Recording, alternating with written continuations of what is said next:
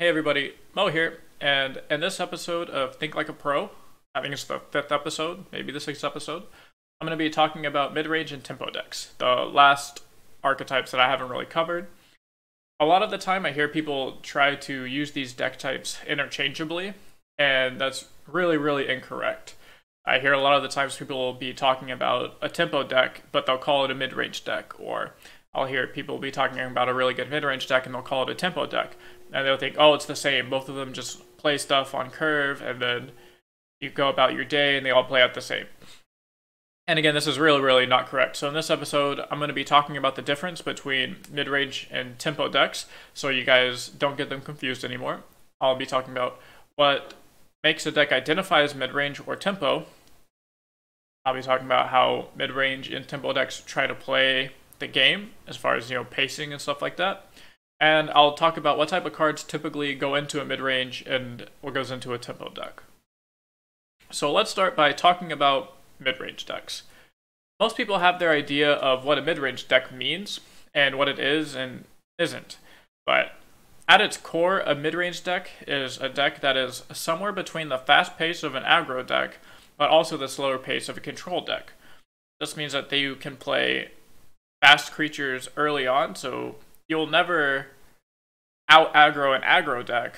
But if the game goes, you play enough early game creatures and cards to where you can survive early game to start playing your mid game, you know, beefy creatures. And mid range decks tend to play out pretty similar, similarly, uh, by playing a good, you know, high value cards every single turn on curve, and every turn they're playing increasingly more powerful cards. The average quality of mid-range decks are going to be higher, and you know will most of the time play several cards that push the boundaries between really broken and just really good stats for the cost. Mid-range cards also don't really rely on synergies within the deck, so every card should be good enough on its own to progress your board state or your game plan without needing a whole bunch of backup cards to help it out. And because of this, most cards that you'll end up playing are typically going to be epics or rares or champions. So let's go ahead and look at an example of a makeshift mid-range deck by the cards that we were had available to us at second beta. So keep in mind, this is just an example deck that I literally made in less than 10 minutes for the sake of keeping things easy to understand and simple in this video. So please don't write the comments with this deck looks like trash and this deck is the best mid-range deck. Why didn't you use it? And all that other junk because I'm probably just gonna ignore it because I'm not taking this deck too serious. So here's an example of a mid-range deck I just made. First, let's look at the individual cards in the deck. You'll see that a lot of the cards I chose to put in the deck have really good stats for their cost. You know, you have cards like Lucian, who's a 2 mana 3 2, which is good, but you know it has an ability which puts it over the top. You also have the Darkwater Scourge, which is a three mana five five, and I don't believe there's any three mana cards out there that can really handle this. So I found that a lot of ephemeral cards could be really good in mid range decks because a lot of their stats are super jacked for the price. Because there's the downside of ephemeral, so you get to play a three mana five five with lifesteal, but the downside is obviously that it dies at the end of turn, so you don't get to keep it. Um, however, I could see there being a really good mid-range ephemeral deck. So yeah, all of these cards are pretty good for their pretty good stats for their mana cost, or they have an ability that puts them overboard on their mana cost. So you have a 3 mana 2 4, but it also has the ability Challenger, which makes it pretty good. You have a 5 mana 5 5, but if an ally died this round, it's a 5 mana 5 5 with lifesteal and tough, which is, you know, just really good. A 4 mana 2 3 with elusive and tough is really good. You just have all these cards that have really good stats or abilities that make them on on par or just in some cases a lot better than other cards in their uh, mana cost category. Now let's look at the mana curve for this deck because, like I said, Mid-range decks want to play powerful cards every single turn to continuously apply pressure turn after turn until your opponent basically has no choice but to two for one themselves, and then they'll eventually just run out of resources trying to deal with all of your threats. Because they'll say, oh, he just played this really scary 5 5 creature. I now have to spend two cards to deal with it. And then the next turn you play another one, and they're like, crap, I just spent two cards dealing with this 5 5. I don't have another two cards to deal with this one, or something like that. Though You'll eventually get to the point where they just cannot answer all of your threats. Uh, in this deck, you can see we have six one cost cards, six two cost cards, 12 three cost cards, seven four cost cards, and nine five cost cards. So for the most part, that's a pretty even number of one, two, four, and five drops. The only outlier here being that there's a lot of three drops. But this is because three drops are really flexible. A lot of three drops are good on the aggro side of the matchup. So if you're playing against you know a bunch of aggro decks and you need more early game cards to try and survive, you know, you have your early game three cost cards, but they can also there's three cost cards in there that have more value the later they're in the game or the more creatures you have on the field. So when you are against the slower decks, uh, the more three cards you have that are on the high end of value are good in that type of matchup. So it gives you a really good chance of playing a card on every single turn to apply the most amount of pressure possible. Again, the big thing about mid-range is you want to consistently play cards, consistently apply pressure. That's basically the mid-range mantra. The best part about the mid-range decks is that these numbers are can always be adjusted based off of the meta. So if the meta is more aggressive, you can cut back on the number of five cost cards to play more aggressive early game cards. And the same as if the meta is more mid-range and control based, you can swap out some of the tiny, you know, do less creatures for the bigger heavy hitters. So this is, goes back to what I said earlier, where we have a whole bunch of three drops just to be kind of in a kind of like flex spots. So of course, when the meta gets more, you know, when you know what the meta is, the meta gets more you know, proven, and you're actually building a deck and not putting less than 10 minutes into it like I did with this one, your numbers can be a little bit different. You know, you can maybe shave off some of those three costers and put add in another one cost unit, another two cost unit, and another four cost unit, and there you go. And like now all of your numbers are going to be basically even and stuff like that. So it all just depends on what the meta's like and what cards you have available to you um, in your mid-range deck and how you prefer to play it. Because you can play the mid-range decks more aggressively by putting in more one and two and three costers, or you can play a more late game, more slow style control where you put in more kill spells or more late game spells and late game creatures. So just as a test, uh, let's run through a couple of test hands. Now keep in mind that this deck uh, could be trash. So how good the cards are, we're going to put that aside. And we're basically just going to look at how likely it is that we get a good starting hand for the next three games as far as spell or spell cost, card cost. So this is basically going to see if we can play. We'll just imagine that we have the best one cost card, the best two cost card, the best three cost cards uh, in our deck. So every card that we have for their number curve is going to be the best possible. So all we're going to be looking at is the mana cost, and we're going to see how likely it is with these numbers, with this deck right now, to get a card to play on turn 1, 2, 3, and 4. And we're going to be doing this for three hands, because we're going to be simulating three games. And I'm going to do it all in a row, and all without any type of cuts or edits, so that way you guys can see that, you know, these are truly just the first three I did, because you know, I, I just did this right after talking to you guys about, uh, excuse me, about the card cost and, you know, the mana curve and stuff like that. So you'll see me do that, and this will just be the first three in a row. So I'm not sitting here, or you guys don't think I'm sitting here going, oh, show me a, a starting hand, and I'll just choose the best three starting hands I get, because I'd be pretty, you know, scuffed and not very believable. So let's go and go into it. So the first starting hand is going to be something like this. So this starting hand's already already insane. Like I'm literally gonna keep every one every one of these. So um, this is like I said, you guys literally just saw me go from showing you guys mana curve to first starting hand here, and I promise I don't care enough to go through and make 17 different takes on the first half of this video just to get a good starting hand because I'm also gonna have to do this for three rounds in a row. So hopefully we can get three good hands in a row. But basically, this is a good, really good example of what you'd want to play in your control or in your mid-range deck. So you have your one coster here. So like I said, well, we're just gonna pretend that these are just the best cards for the cost. So it would go: you play your one coster. Hopefully, you you get to attack first. You play your one coster, you attack. You play your two coster, you attack. You play your three coster, you attack. Um, that's three turns that go by. You're more than likely, I don't think there's a way to draw cards, but we can assume since all but nine cards cost four or less in your deck, and you already have one, so all but eight cards left in your deck are four or less costing, we're going to assume you draw at least one unit, or at least one card that costs less than four. So you can play that card on turn four, and then you have a back to back which buffs two units on turn five. So you basically have something to play on every single turn for your first five turns. And sometimes you can get lucky.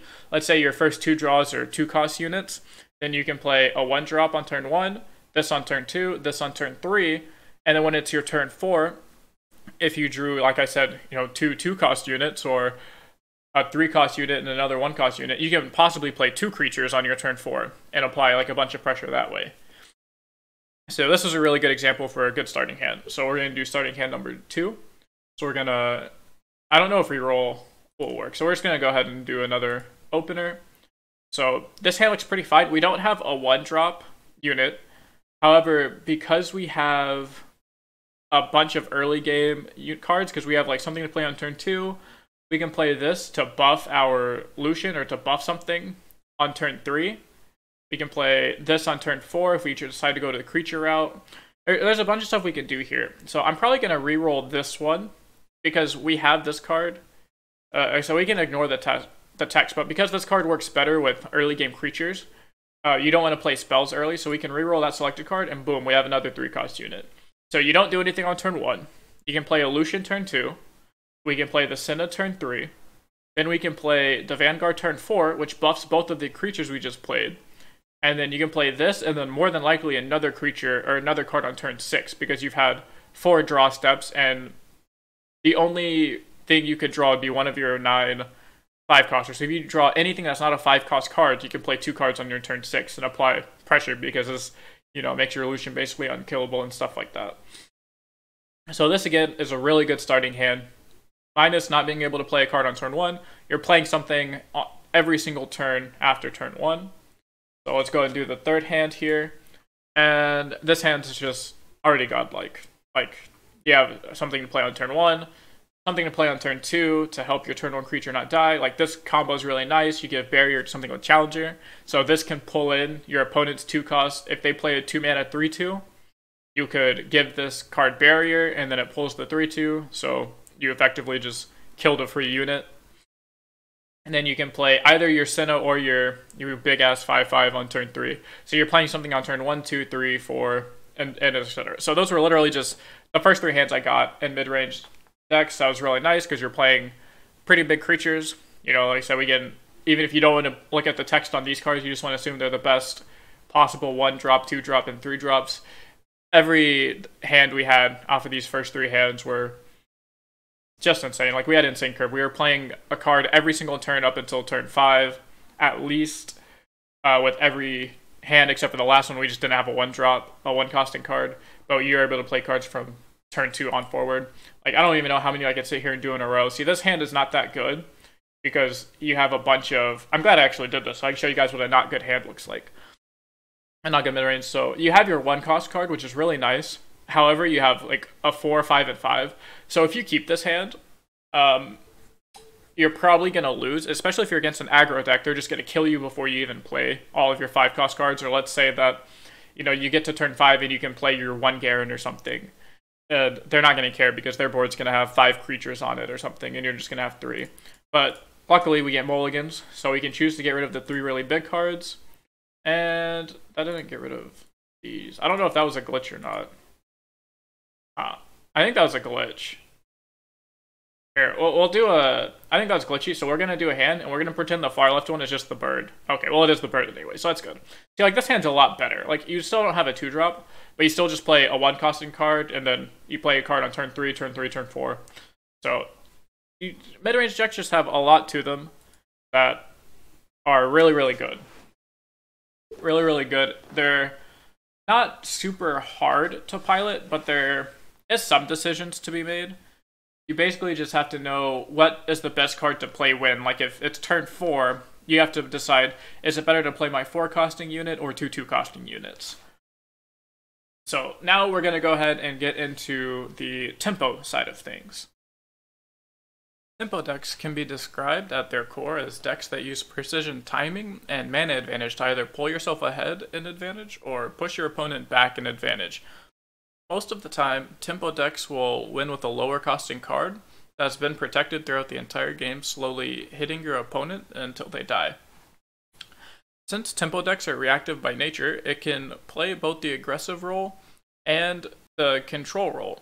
Uh, you play the aggressive role by knowing exactly when to go all in and spend all of your cards and spells to be able to pull yourself ahead, or you can take on the slower role by being able to play a small threat and then deciding exactly what to react to and whatever your opponent throws a card at you. Is you don't have to react to everything, you know, just like in a control deck, but you have to know exactly what to react to and exactly what card to react to your opponent's card with. So let's look at one of the best examples I can give on a tempo deck from my experience, and that's the Yasuo deck. Now, this is uh, my version of the Yasuo deck that I made during the first beta session. So some of the cards in this deck have been nerfed or changed, so they don't really belong here, but I can't go into... I can't log into Mobalytics to be able to change my deck list around to make it what it's supposed to be, so we're just going to pretend that this is the good overpowered version from the first beta. In this deck, your main win condition is going to be hitting with the Yasuo a bunch, and then continuously pushing your opponent's board state and advantage backwards, sometimes winning with Haymakers at the end, but most of the time with Yasuo. So let's look at every point I made on what makes this a tempo deck. The first point is using precision timing to either pull yourself ahead in advantage or push your opponent behind. This will mainly be done through your stun abilities and Yasuo's ability. A stunned creature can't attack or block, so depending on whose attack turn it is, you can use your knowledge to decide whether you need to stun your opponent to prevent them from attacking, therefore pushing them back a turn and not making them attack and putting them on the defensive for two turns or more in a row. Or you can decide to use the stun abilities on your turn whenever you're about to attack to make sure you can get in as much damage as possible to either set up for the kill next turn or to just go ahead and go all the way in for the kill. Same can be said about the recall abilities. You know, you can use that for both offensive and defensive as well. Uh, point number two is most of the time, tempo decks will win with a lower cost card that slowly hits your opponent over and over again until they die. In this deck, we have two creatures that do that very well.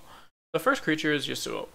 When Yasuo's in play, he's already hard to block since he has quick attack, but he also puts your opponent on a 5 turn clock, which is not great, but when comboed with his ability to turn all of your reactive stun and recall abilities into, you know, now kill spells because they do damage, it makes it really hard for your opponent to block because it takes this stun card that just says you can't block this turn to possibly not just a kill spell, just a two mana kill spell or something, which makes it really hard for him to be consistently blocked over and over and over again. And the second creature is going to be the Fey Blade Twirler.